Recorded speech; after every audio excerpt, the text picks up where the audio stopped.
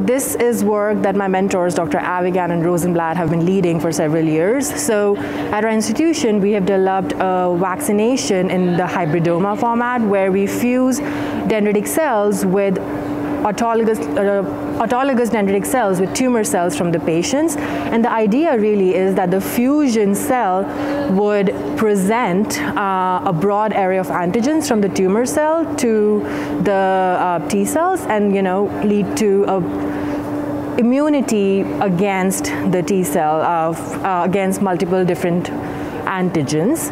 Um, and previously, uh, we have had clinical trials led by Dr. Rosenblatt at our institution, uh, where we have shown that the survival was uh, significantly better in patients who got the fusion vaccine uh, after they had attained a post-chemotherapy um, remission.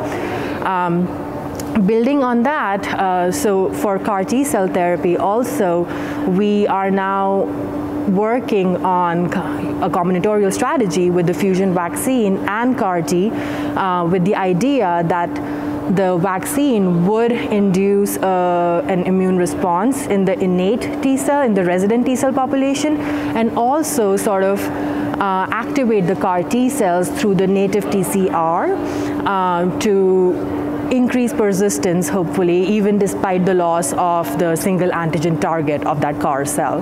So we have uh, great preclinical data from that uh, work uh, from our Avigan lab, and we are starting to uh, bring this to the clinic in the form of a phase one trial.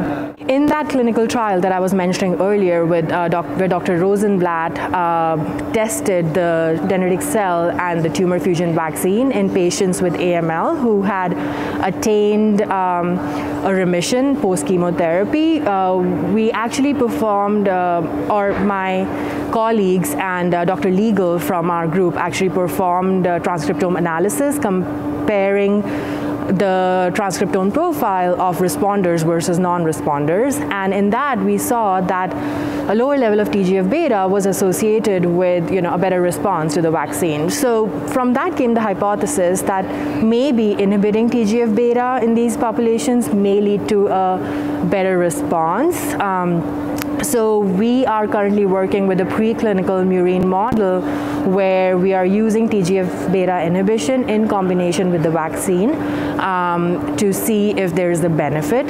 So far, we have been able to demonstrate in our in vitro experiments that there is enhanced cytotoxicity with that combination, and it does seem to be acting on the immunosuppressive T cell subsets because we saw a decrease in the expression of um, PD-1 and FOXP3, and uh, in our in vivo experiments, we have seen um, some survival benefit um, in the mice that were treated with the combination.